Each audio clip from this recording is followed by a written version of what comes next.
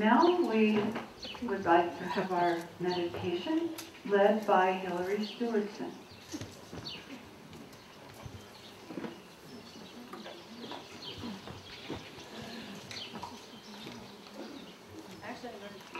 Oh, I'm so sorry.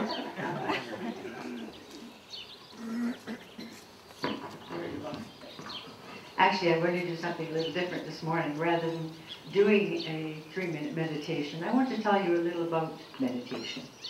You know, a lot of people sort of think meditation is woo. So I'm here to tell you about the results of some of the studies that have been done on health benefits. The National Institutes of Health conducted a mortality rate study on people aged 55 and older the first group practiced transcendental meditation, and the second group used other relaxation methods for achieving improved health. The study was conducted for eight years. The findings were that those practicing meditation lived 30% longer than the people in the control group. That's a pretty remarkable result.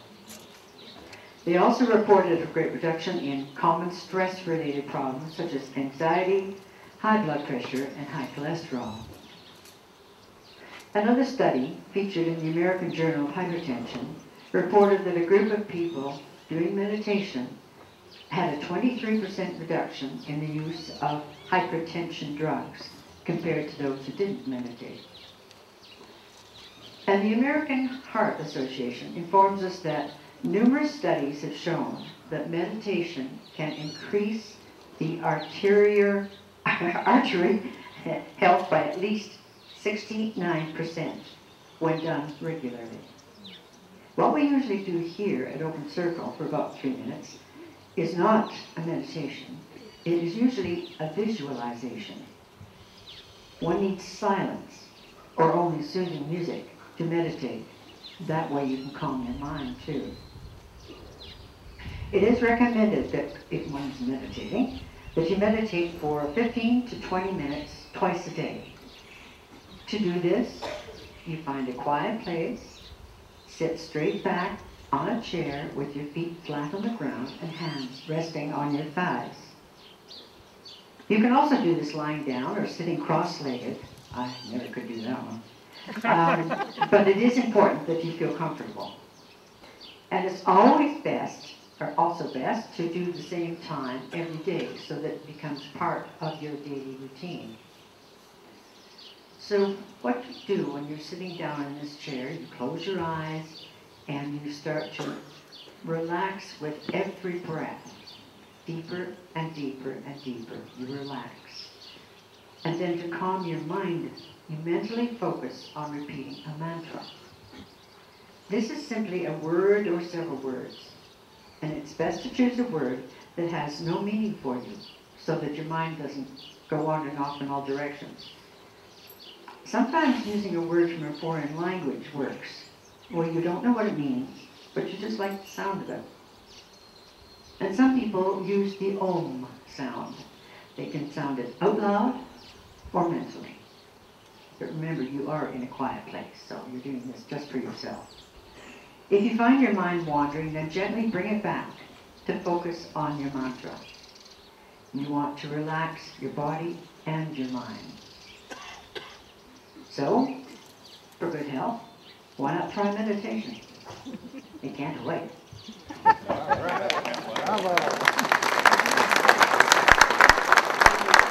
If we all live to be 30% older, imagine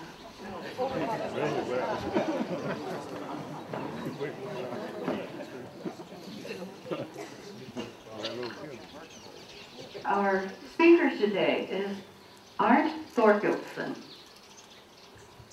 His name suggests he might be son of Thor himself, right? as tall, slender, and graceful as the prow of a Viking ship. He's a story writer and storyteller of Norwegian extraction. Hi, dear. Today, I love it when you talk like this. true. Today, he's going to tell us all about the explorers, the rise and fall of the British Empire, the last place on Earth, the South Pole, I guess. He's back by popular demand.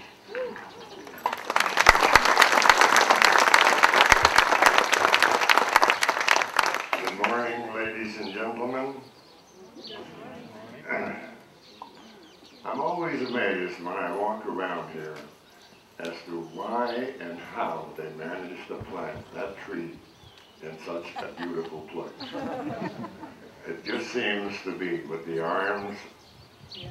Who could, who could, who came up with that idea? Neil James. Uh, Neil James. This morning, a couple of things before I get started. We went to immigration on Tuesday morning to arrange our FM3 pictures and fingerprints of every finger, all 10 of them.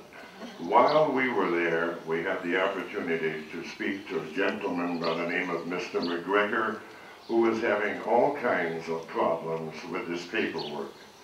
It might be someplace between here, Oaxaca, Mexico City, or Veracruz. Considering all, he said, it is easier to love Mexico than trying to understand it. I've always wondered about the word experience and what it and what its value is. And now that we're all 60, 70, and 80 years old, one would think that we have accumulated some knowledge, some experience, been there, done that. So what is the value of it all? I shall tell you. A younger man is out driving his car when he hears a noise under the hood. He, he goes into the garage and asks, can you fix it? An elderly, gray-haired gentleman comes out, opens the hood, takes out his hammer, and goes, doink. The noise is gone, and the young man says, how much do I owe you? The man says $49.50. He says $49.50. I want an itemized bill. The man goes inside and he says, all right, use of the hammer, 50 cents. Knowing where to knock. So now you know that the value of experience is at least $49. Some friends of ours, Tom and Mary, came up from Mazatlan, and Tom asked, what are you working on? And I said, I'm working on something for Open Circle. And he says, what is Open Circle? And I said, well, it's a little bit of this and some of that. And then it came to me. It came to me. Forrest Gump. Do any of you remember the movie Forrest Gump? An absolute classic. Run, Forrest, run. Forrest is sitting on a park bench with a box of chocolates when he says to the lady next to him, My mama always said to me, life is like a box of chocolates. You never know what you're gonna get. And that is open circle. open circle is like a box of chocolates. You come here every Sunday morning you never know what you're gonna get. The explorers. In 1492, the world was flat. If you sailed too far west, you would fall off the edge. So said all the learned men at the time, and all the learned men were priests, bishops, cardinals, and of course the Pope. Rome knew best. And while the explorers and the people living there knew the Mediterranean and a little bit of the west coast of Africa, that was it. Christopher Columbus tried to convince the king in Portugal for five years that he could find India by sailing west. the king and his advisors thought otherwise. And so Columbus went on his donkey with his plans to Spain and tried to convince King Ferdinand and Queen Isabella, but they were too busy fighting a war trying to, trying to unite Spain under them. And they were also trying to expel all Jews, Moors, Muslims, and burning of all non-Catholics at the stake. The first Grand Inquisitor was a Dominican monk by the name of Tomas de Torquemada. He died in 1496 and was replaced by a worse zealot. It took the world another 200 years before burning at the stake ended. The witches of Salem, Massachusetts, they also happened in France, and of course, Queen Mary of England, known as Bloody Mary. But the final chapter on the Spanish Inquisition did not officially end until 1854, 350 years later. Finally, after 10 years and through a lot of planning and talking, the help of a benefactor who believed in Columbus, he finally got his three little ships, the Nina, the Pinta, and the Santa Maria. Within six months, Columbus was back. The New World had been found, and in the year 1500, the age of exploration, the age of discovery began. The world was not flat. We did not sail off the edge and the search for spices, new lands, territories, and empire. Riches and gold fed the imagination. The news spread, and the search for El Dorado had begun. Columbus brought back to Europe after his first voyage tobacco and syphilis. and he left the New World with the European diseases, which within 100 years exterminated nearly half of the indigenous population of the Caribbean. Smallpox was the worst. In 1500, all the explorers moved horizontally. 513 years later, the explorers will move vertically because the future is not out there. The future is up there. The British Empire and you have to bear in mind that this is my version. It is but a snippet of history. It is not the official historical version that you can find in your history book. The sun never sets on the British Empire. That was the motto of the times, and it was true for over 450 years. Columbus may have discovered America, but the British discovered the world. At its height, it was the biggest and it was the largest empire in history. England covered all the continents, and the Union Jack flew over all, and the people sang, Rule Britannia, Britannia rules the waves. We shall never, never, never be slaves. But no more. The first colony was Newfoundland, then Jamestown and the Puritans, and the last was Hong Kong. England still has a few territories and protectorates around the world, the Falklands and Georgia. Sheep are included, an mm-hmm. interest in Cyprus, an uninhabited rock in the middle of the Atlantic, a military base in the middle of the Indian Ocean, and maybe even an interest in Pitcairn Island mm-hmm. the home of the mutineers of the HMS Bounty. Fletcher Christian, the mutineer, took his men and his women from Tahiti to Pitcairn Island, where they set up home after destroying and burning the Bounty. There was no going back. In a few years, they had all vanished. They ended up by killing each other. Captain Bligh, who was set adrift in a small boat with his 29 men, sailed on for 49 days and 3,900 miles to the Dutch East Indies, an amazing journey of survival and seamanship. Years later, Captain Bligh became governor of New South Wales, Australia. An even more amazing tale of English seamanship was Ernest Shackleton's journey by dead reckoning from Elephant Island in the Antarctic to South Georgia, a trip without a compass of 800 miles. The Englishman. From this little island, the English sailor, the captains, the explorers set out to find the world.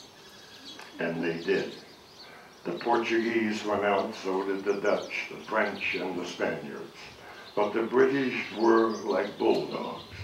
They were also raiders, privateers, pirates.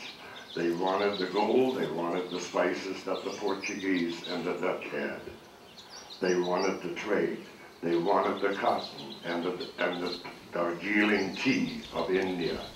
They kept what they found and then took by hook or crook everything else, one way or another, from the Dutch and the Portuguese, defeating the French at Trafalgar, burning all their ships and by force anyone else who was in their way. It was the British Bulldog.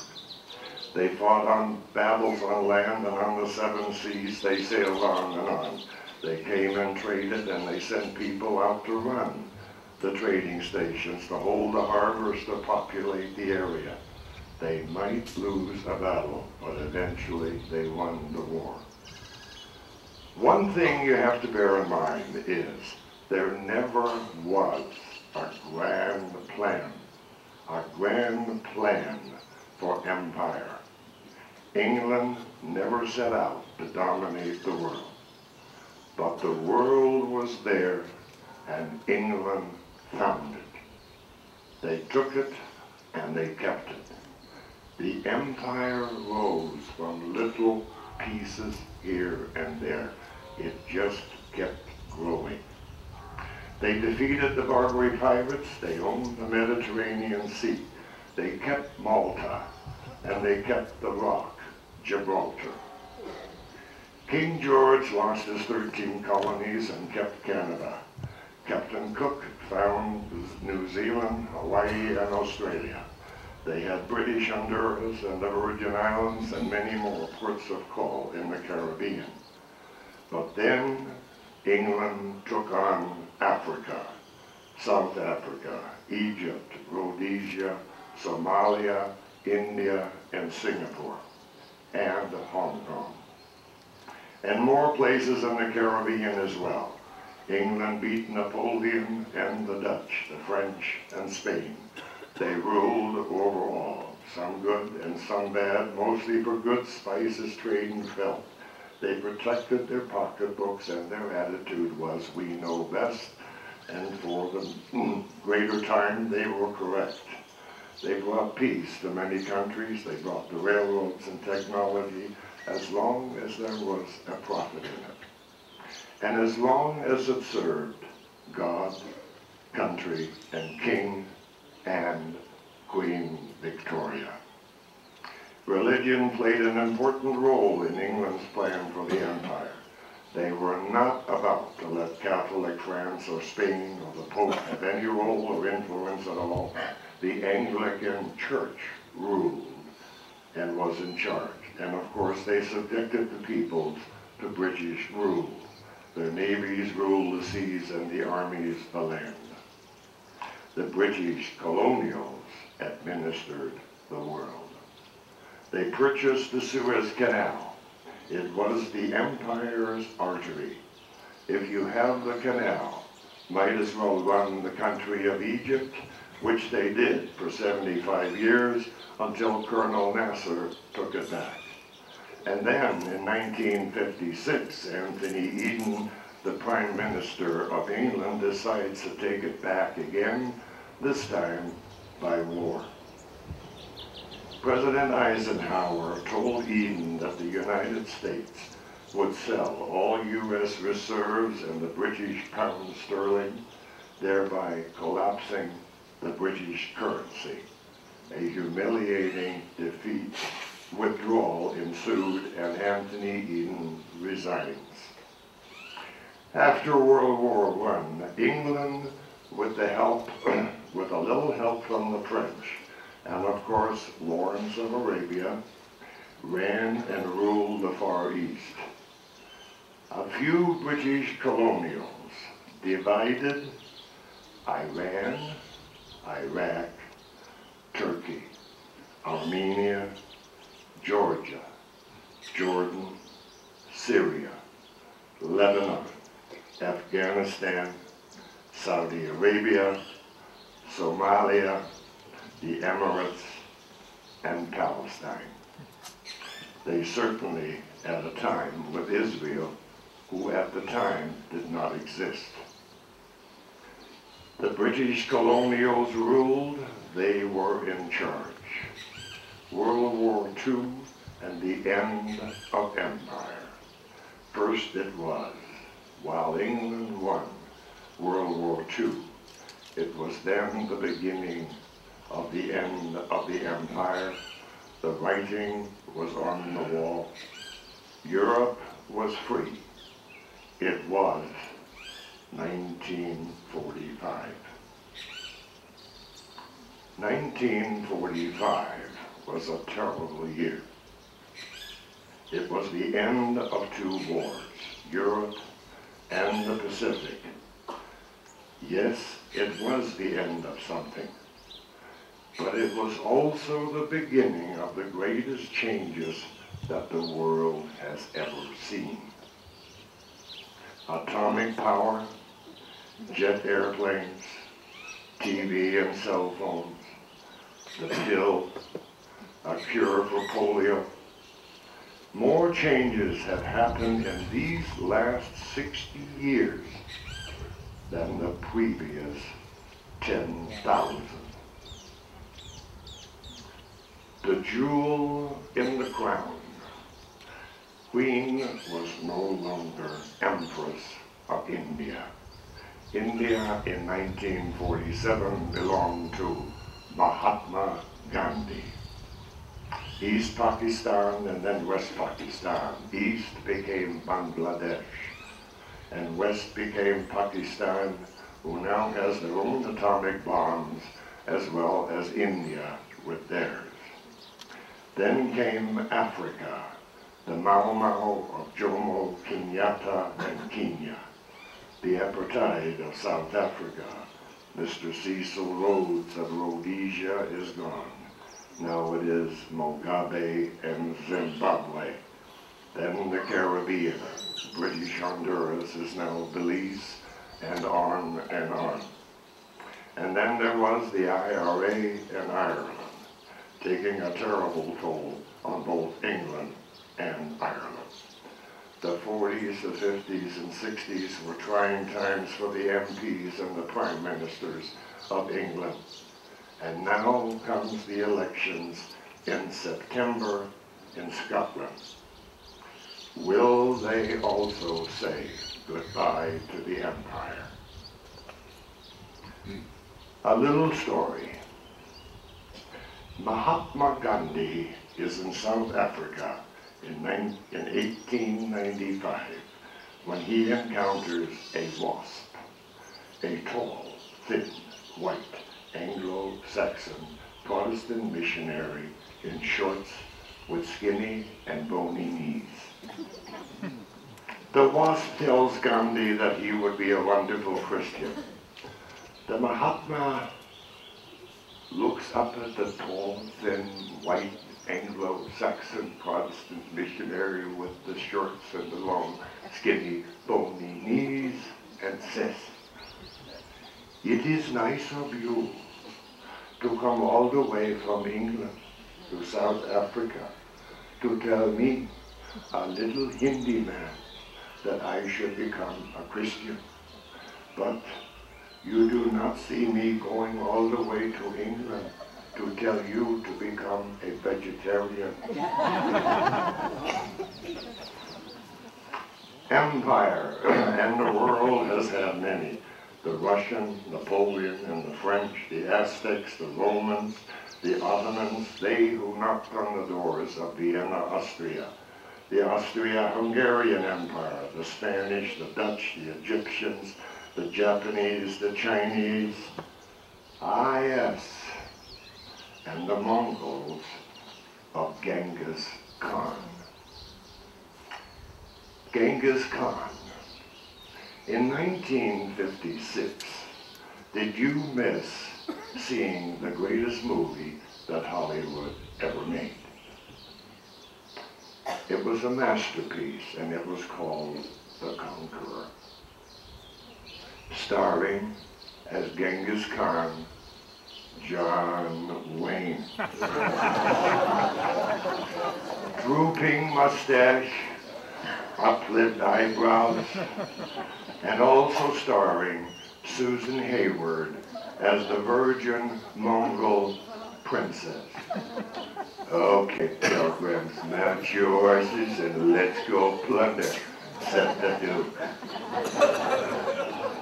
I saw this movie in 1956 in San Diego, and it has never been shown since. never. And I hope it never, ever is. I, I mean, Hollywood does some strange things, but give me a break. John Wayne. Gee. The British Empire. Say what you want about the British Empire. It's good and it's bad. It was a different time. But it did become, and it was the greatest and, and largest empire in history. It far surpassed any other Roman or Ottoman. And it became the greatest for many reasons. But it also lost it for many reasons, the main one being each country's call for independence. Every country and every person wants to be free, to be independent, reluctantly and in some cases kicking and screaming, but eventually England granted those wishes, but they still kept a hold on one little place, the last place on earth, the South Pole, and that is the next part of our story. What has England and the Empire left us with? Certainly America, Canada, Ireland, Scotland, Belize, New Zealand, Australia. But the most important thing of all, the English language. It is the language of the world, it is the language of diplomacy, it is the language of commerce. No other language in history has become as important and far-reaching as the English language. And for that, we have to thank the English seamen and the English explorers. Wherever you travel in this world, you can always find someone who speaks English. A hundred years from now, will everyone speak English? The English gave us King Arthur and the Magna Carta, Shakespeare, Trial by Jury, the Beatles, and Monty Python. No other country or peoples have had as great of an impact on the world as the English and the, and the English Empire. No one comes even close. The last place on earth. England sailed and explored more of the world than any nation in history. They opened up the dark continent of Africa. Cook found Hawaii, New Zealand, and Australia. With only a few places left in the world to take a peek at, and so many captains banging on the door of the Admiralty asking for a place to sail to. The Lord said, how about the Northwest Passage? Off they went, and many never came back or failed to find it. One of the last explorers tried, and all on board died as a result of all the food being in zinc cans sealed by lead. The result was that they all died in northern Canada of lead poisoning. The one explorer who did find and complete the Northwest Passage was the Norwegian Roald Amundsen. The North Pole had been found at 90 degrees north by Admiral Peary that left only the South Pole, the last place on Earth. Many captains and explorers had come close to Antarctica, but ice and storms always drove them back until the Admiralty and the English National Geographic Society said, let's have a go at it. so they found a volunteer, Captain Robert Falcon Scott, an insecure man looking for fame and glory, who set sail for the pole with a third officer on board by the name of Ernest Shackleton. The crew adored Shackleton. Scott hated him and saw him as a threat and sent him back home. Scott failed in his first trip south, but would, but would return years later. Shackleton also returned in 1907 and came within 112 miles of 90 degrees south, but ice, cold, hunger, and the terrible disease, scurvy, drove him and his men back. His ship, the Endurance, was crushed by the ice. So they sailed away in small boats to Elephant Island. From there, he and six men set out to South Georgia, 800 miles, without a compass, and they made it. He returned a year or almost two years later and saved all of his men from Elephant Island. Amundsen was prepared to go south, but Scott was not. Amundsen trained and lived with the Eskimos in Greenland and Canada for over two years. He studied their clothes, their diets, and knew you had to have fat in your diet. He ate seal, meat, and blubber. He knew how to use skis. Scott found them too difficult. Amundsen taught himself and his men to handle huskies and sled driving. He knew about scurvy. The English sailors died and suffered terribly over the 200 years from a lack of vitamin C. That was the cause of scurvy. Captain Cook in his journeys supplied his men with lemon juice and no one got scurvy. Scott did not know how important diet was. He did not know how to survive at 60 below zero. Amundsen did, having lived in the North for years. Amundsen was a tough but a fair leader of his men. Captain Scott was not. He was the kind of person who had his favorites. Scott had huskies, but did not know how to use them. When he saw that the dogs ate their own poop, he was disgusted and would have nothing more to do with them. On Scott's second journey to the pole, he brought with him tractors. The first one sank while being offloaded. The second one froze up. Did someone say antifreeze? He also brought with him 28 Siberian ponies and tons and tons and tons of hay to the South Pole. The ponies starved and then froze to death. Amundsen for months cached food and primers for his stoves every 20 to 40 miles. Back and forth they went, supplying and resupplying. So did Scott. Amundsen used dog sleds.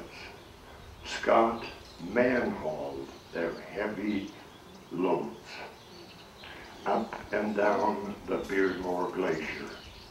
The South Pole is 9,000 feet above sea level. a million years of ice. Amundsen set flags out several miles in each direction stating where the food was. Scott used one flag. Amundsen's expedition benefited from careful preparation, good equipment and clothing, and his trek proved rather smooth and uneventful in contrast to Scott's journey south. Both Scott and Amundsen set forth for the South Pole within days of each other, going south 1,300 miles. Blizzard, snow blindness, and just misery, misery during the night and exhaustion, then up and at it again. Finally, they were at the plains. Amundsen skied and used the dogs to pull the sleds. Scott man-hauled their heavy loads. Amundsen found the 90 degrees south and placed the Norwegian flag there on December 12, 1911.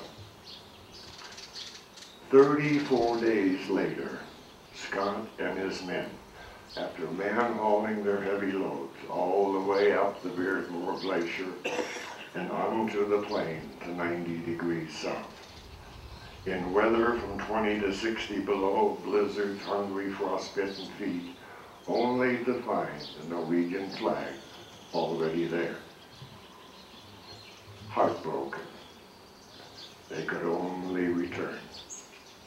But where was the food?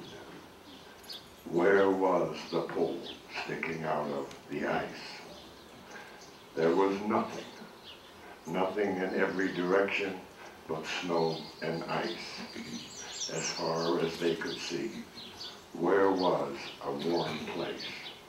Exhausted, snow-blind, frostbitten, hungry, eating only one biscuit a day. And depressed, they laid down in their tents, 11 miles from food.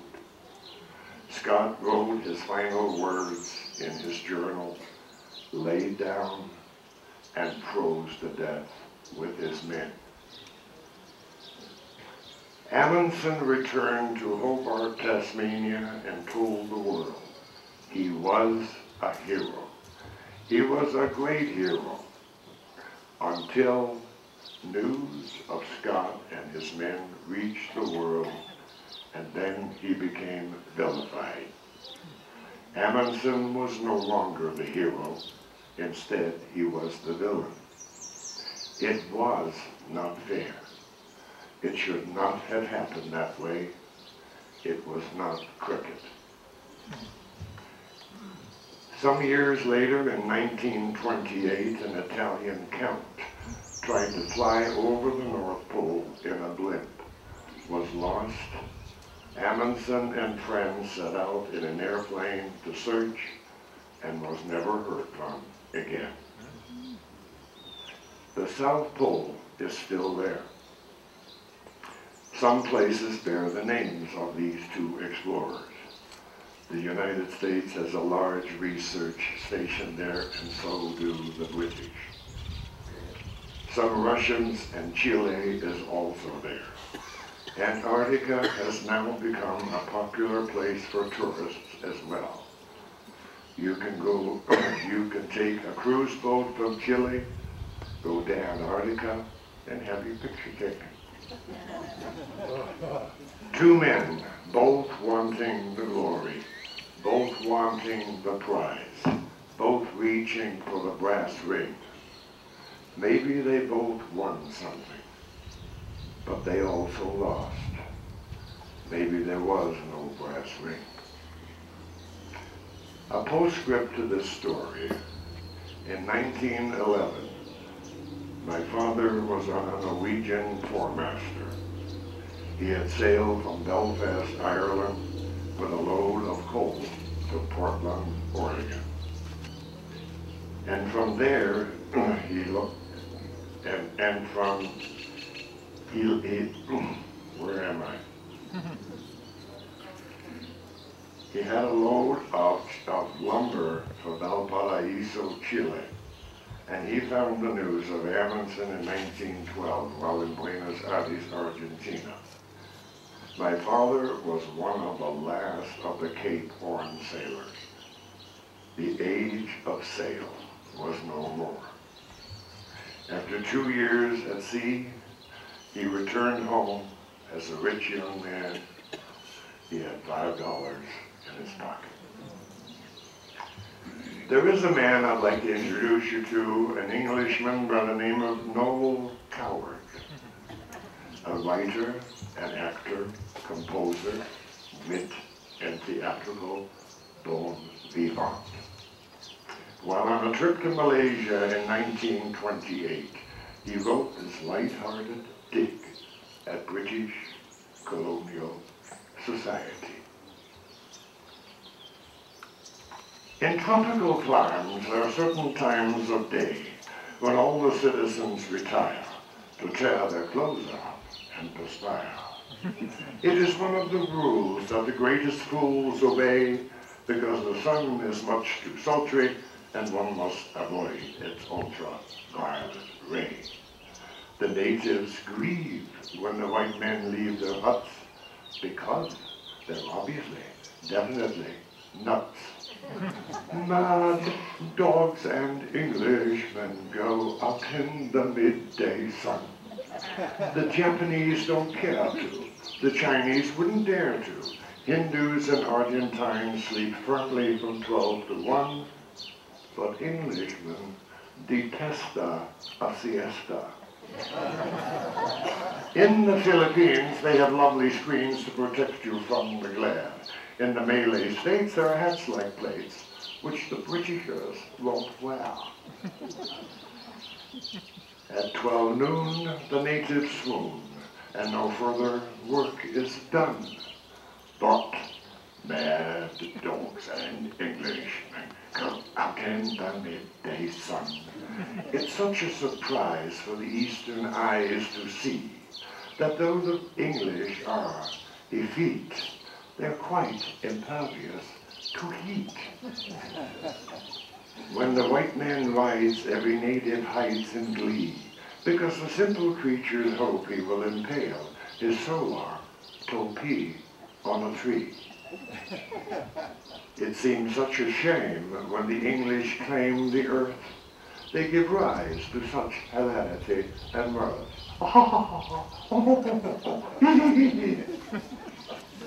Mad dogs and Englishmen go out in the midday sun. The toughest Burmese bandit can never understand it.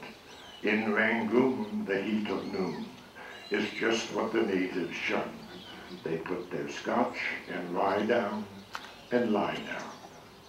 In a jungle town where the sun beats down to the rage of man and beast, the English garb of the English Sahib merely gets a bit more creased. In Bangkok at 12 o'clock, they foam at the mouth and run. But man, dogs, and Englishmen go out in the midday sun. The smallest Malay rabbit deplores this foolish habit. In Hong Kong, they strike a gong and fire off a noonday gun to reprimand each inmate who's in late. In the mangrove swamps where the python romps, there is peace from 12 to 2. Even killer who lie around and snooze, for there's nothing else to do. In Bengal, to move at all is seldom ever done. Not mad dogs or Englishmen go out in the midday sun. Thank you very much.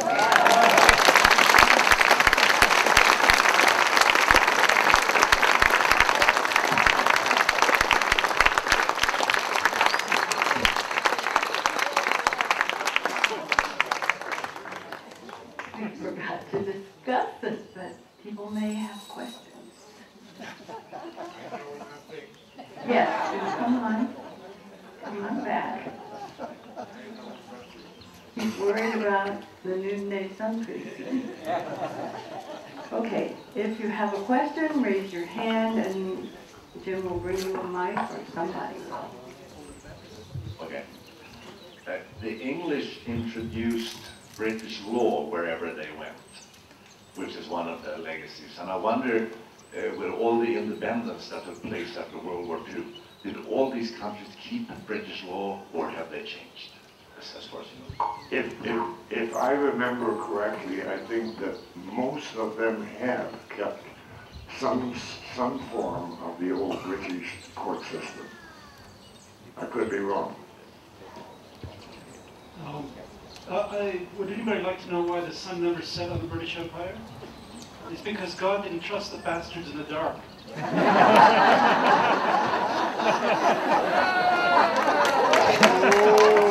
hadn't thought of that one.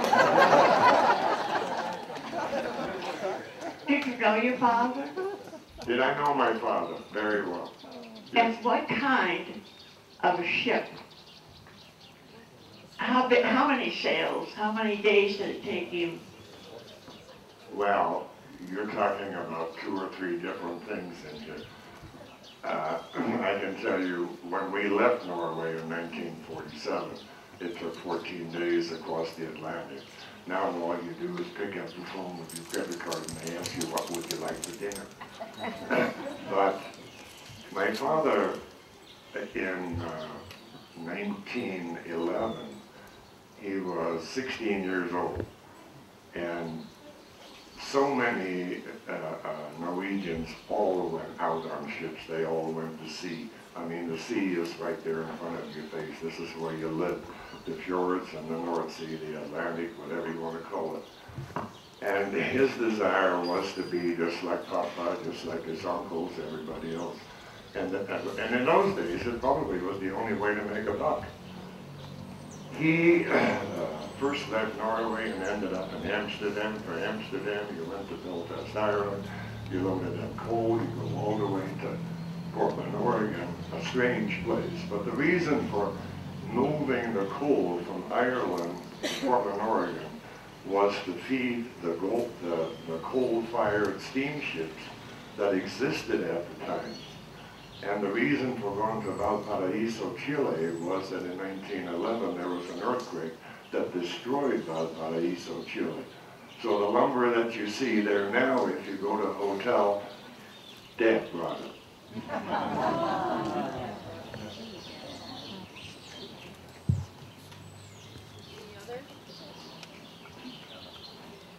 Do you still? Do I what, ma'am? Do you still sail? Do you sail? Only if you go with me. I, I, I need a good crew. Here's another question. Uh, I have one quick question. I could probably go home and Google it, but what was it specifically that uh, turned Amundsen from being a hero to a vil- villain? I, I didn't. What was? What did he do? What was he perceived to have done? It, it, it, it was when they found that, uh, that Scott had, had come so close with food and the tent and the kindness and everything else, and died 11 miles away from it. But you have to bear in mind that no matter where that particular tent had been, at that time, I'm not sure that Scott and his men had the energy to go further than a mile or two a day. It depends so much on, I mean, the feet, uh, one man's feet were frostbitten and probably would have had them uh, amputated if memory serves me right. It, it was just one of those times. But I think that when you hear a hero that's come in town 90 degrees south, and then you hear the other side of how badly it was for Scott and his men that they found the four frozen bodies, you know, laying in there in the tent uh, several months later.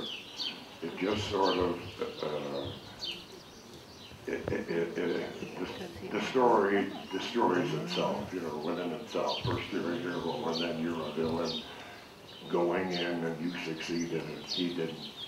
It's a sad tale, it really is.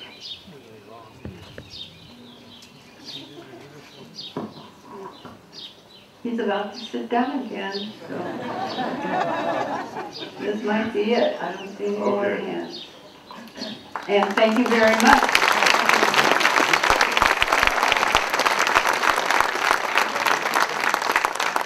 I, I just have a quick uh, announcement here. Uh, Next week is the time change. So which way does the clock go? Forward. Ahead, forward, right, okay. So remember, be here next Sunday. Next Sunday, we're uh, going to have Dr. Nancy Banks present uh, a lecture on evidence-based medicine. Does it really exist?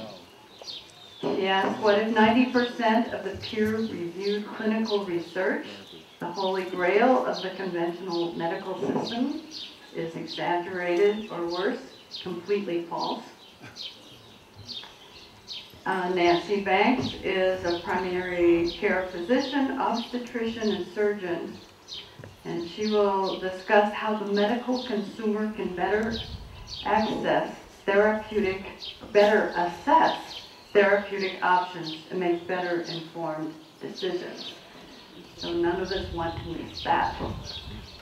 So that concludes our time today, and uh, you can turn your cell phones back on, and please pick up your coffee cup and stack your chairs. Thank you for coming.